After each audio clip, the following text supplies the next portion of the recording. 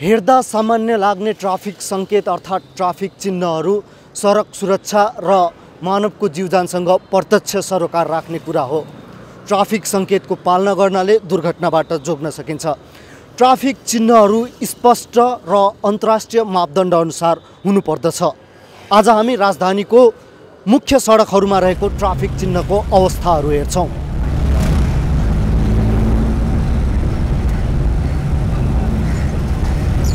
यो देखिरहेको ट्राफिक चिन्ह सिंहदरबार दक्षिणी ढोका अगाडिको ट्राफिक चिन्ह हो। यस्तो किसिमको ट्राफिक चिन्ह विश्व मापदण्डमै कतै पाइँदैन। भद्रकाली मन्दिर अगाडि यो राखिएको नो पार्किङको ट्राफिक सङ्केत खुइलिसकिएको छ। यो ट्राफिक सङ्केत खुइलिएर हो वा यसलाई व्यवस्था गर्दै यहाँ लहरै हामी मोटरसाइकल राखेको देख्न सक्छौँ।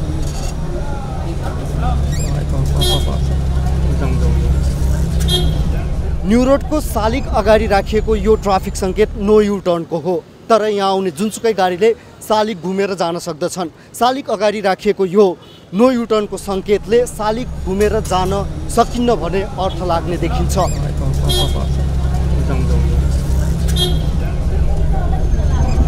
राजधानीको मुख्य सडकमै राखिएका कतिपय ट्राफिक सङ्केतहरू अस्पष्ट र दोहोरो अर्थ लाग्ने हुँदा यसले झन शास्ति भोग्नु परिरहेको सवारी चालकहरूको गुनासो छ। ट्राफिक चिन्हहरू धेरै ठाउँमा नबुझिने खालको अलिक कस्तो कस्तो अब त्यो जे होस् डेट अफ भइसकेको भनौँ न त्यस्तो खालको हुन्छ। अब झ्याप्प अब त्यो साइन नभएको नदिएपछि त गाडी त रोकिन्छ।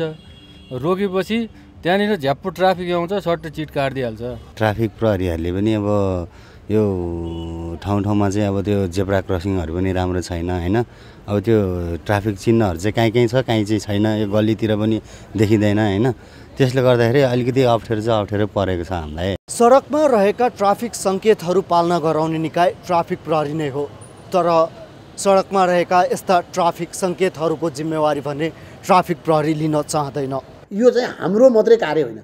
यो ट्राफिक सङ्केत चाहिँ सडक विभागले बनाउने हो। अथवा सडक कार्यालयले बनाउने हो। सडकमा हिँड्ने यात्रुहरूको जीवजानको सुरक्षामा प्रत्यक्ष सरोकार राख्ने ट्राफिक चिन्हहरू स्पष्ट र अन्तर्राष्ट्रिय मापदण्ड अनुसार हुनुपर्ने सर्वसाधारणको सरोकारवालासँग माग छ। क्यामरामा माधव प्रसाद घिम्रेको साथमा प्रशान्त ठाकुर काठमाडौँ।